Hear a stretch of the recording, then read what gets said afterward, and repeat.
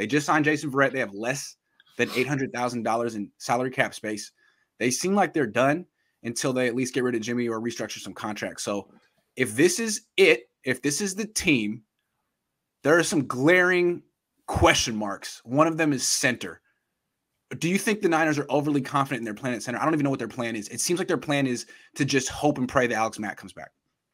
Yeah, they're definitely overconfident. I mean, who did uh Kyle Shanahan and or John Lynch mentioned? These guys said, "Oh, Jake Brendel," and then maybe Daniel Brunskill swooping over. And they he said something like that. I looked over the transcripts when I was looking over for the. They said Jake Brendel's name like two or three times that weekend. Like, who the hell is Jake Brendel?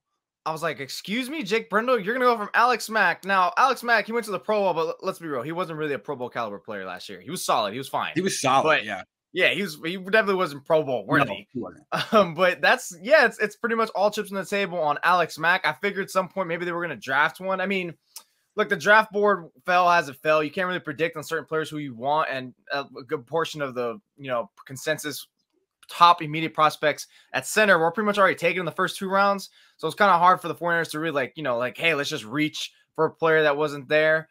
Um, but yeah, right now the Planet Center is not ideal. If Alex Mack does not come back, they're in a whole heaps of trouble. Yeah, they're totally at his mercy. And if I were Alex Mack, I mean, he's smart. He went to Cal.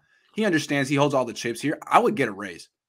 Hey, man, I don't really want to play football anymore. But if you need me, I'll take an extra two, three million dollars. Thanks, because California's so expensive.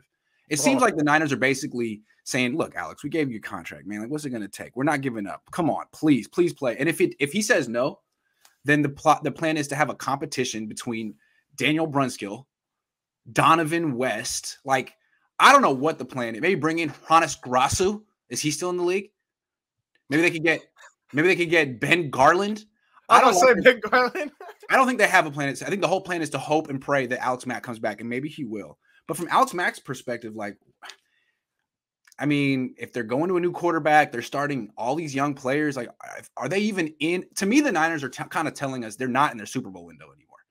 They are transitioning to a very young team, and they're trying to open a new Super Bowl window next year. They feel like their Super Bowl window closed last year. That's, I mean, I disagree with them. I think as long as they have Deebo, they can contend. But they're like, well, we have a rookie quarterback, so you know, we'll just, we'll just give our young guys as much experience as possible. So next year we have a new window and I, that's why I feel like they don't really care about their planet center. It's like, you know, Alex Mack comes back, great. It's not young guys will get reps.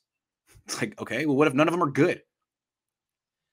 I don't think so much that they're kind of folding in on the season this upcoming year. I still think they're very well going to contend, and that's because of the NFC. That's because of how confident they feel that they're going to churn out that young talent this year. Like, hey, we're going to get about like three to four of these players to be some key contributing role players, and they're going to factor into why we're in the playoffs, which is kind of weird because they didn't. How many rookies actually, or even young players, even helped them last year? From yeah. that standpoint, other than Ambry Thomas stepping in as of an emergency outlet that I can think of off the top of my head, but that's essentially where I think that where they're where they're thinking is um they're gonna forego free agency, all this stuff, and let's finally actually give some of these draft players that we're gonna bring in to see if we cannot make them as you know key contributors throughout the year because I think they're still in a good position with Deebo Samuel most likely going to return.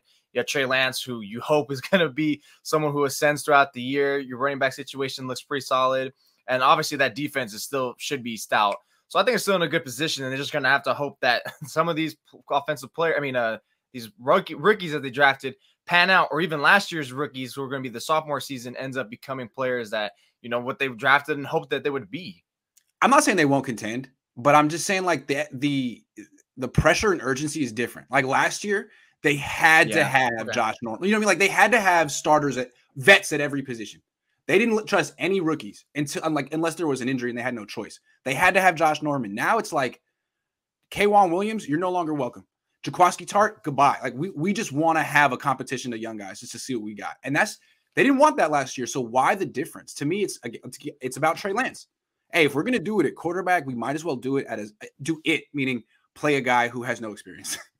Just go with the total unknown. If we're gonna do it at quarterback, then why don't we do it at six positions so we learn as much about our young guys as possible, and we can at least make us wiser. I don't know. I don't. I don't agree with it, but that, that's kind of what I assess going on right now.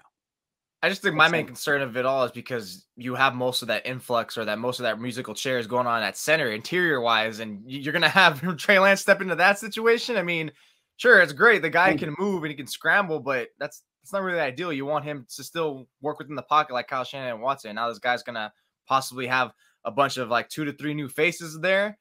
That's a rough start for him. Pressure in his face. He's, he might have a center who's never played center before or not a full time center. So, Alex Mack, I think you are in position to get a raise. Get that raise.